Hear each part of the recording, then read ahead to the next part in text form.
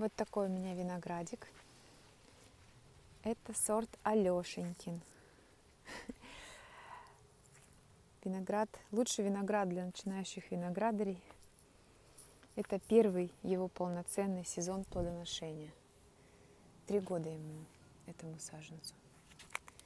Такие огромнейшие грозди, просто очень большие, очень тяжелые. Виноград вкусный, сладкий. Главное дать ему полностью вызреть. Начинает почему-то созревать с конца. Вот эти первые грозди уже созрели, а эти еще кисловатые.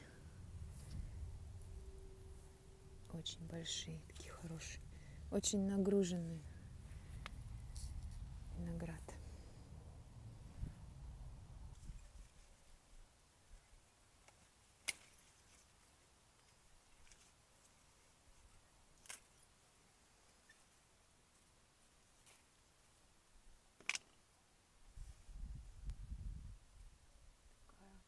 Большая гроздь.